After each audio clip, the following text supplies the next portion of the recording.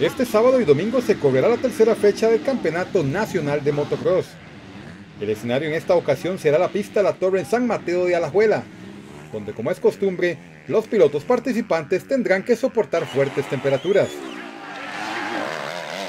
Las categorías MX1 y MX2 nuevamente son el atractivo de la jornada. Sin embargo, uno de sus principales protagonistas, como lo es el piloto Roberto Castro, podría no estar presente, esto debido a que el piloto aún se recupera de los golpes y consecuencias de su espectacular caída sufrida hace dos semanas en República Dominicana. Los primeros días fueron muy difíciles. Eh, al día de hoy tengo eh, el área de las cervicales eh, bastante inflamada. Esa es una de las molestias principales también en mi hombro derecho. el deltoides en general está muy inflamado junto a algunos ligamentos. Para este sábado están programadas las sesiones de clasificación y primeros hits de algunas categorías.